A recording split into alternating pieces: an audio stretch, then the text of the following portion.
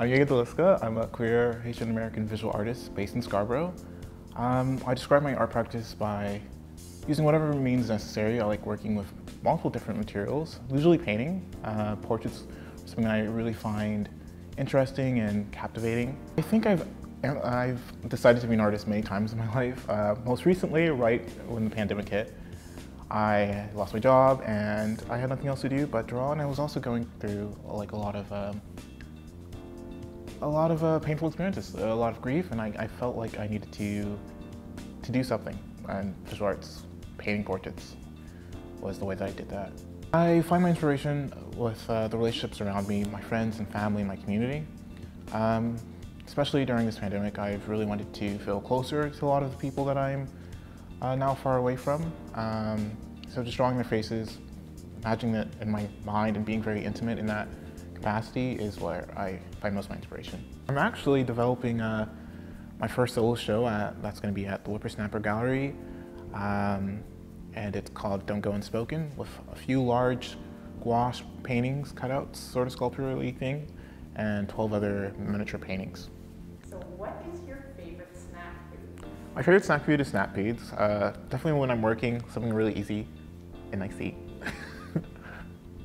That's it. Bye. Stop! Ingredients. A gouache kit, a rag, a spray bottle, two jars of water, a palette, tape, paintbrushes, and watercolor paper.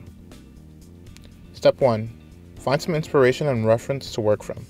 Something that puzzles you always makes for an interesting painting. Step 2. Set up all your paint supplies. Make sure everything's within arm's reach. Having a clear and efficient setup helps you stay focused.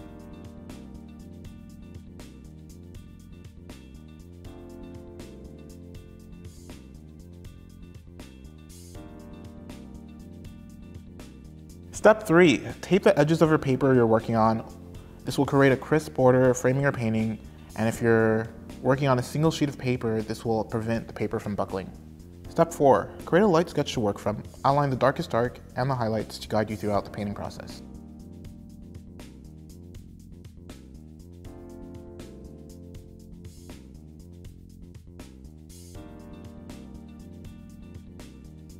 Step 5. Time to start painting. When painting with gouache, it's best to build from thin to thick. Steadily add more paint as you go and make sure each layer is dry before adding a new one.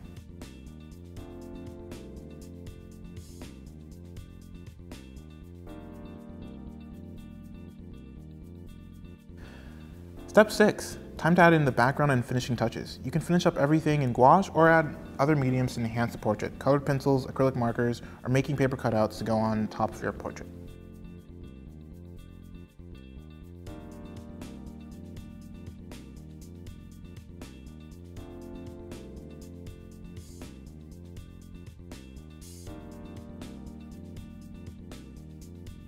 Step 6. Show it to the person you're thinking about if you can. And if you want, post it on Instagram and tag me at Yegas Deli. I'd love to see it.